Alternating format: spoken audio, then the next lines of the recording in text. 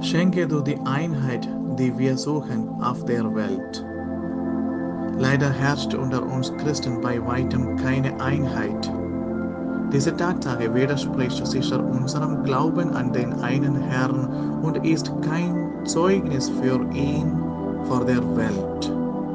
Beten wir darum, dass wir in unserem Tun nicht dem Namen widersprechen, den wir tragen.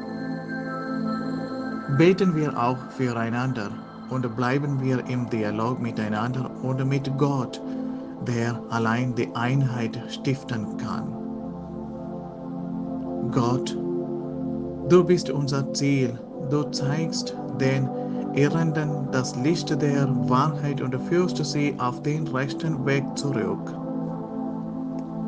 Gib allen, die sich Christen nennen, die Kraft zu meiden, was diesem Namen widerspricht und zu tun, was unserem Glauben entspricht. Er segne euch, der allmächtige Gott, der Vater und der Sohn und der Heilige Geist. Amen.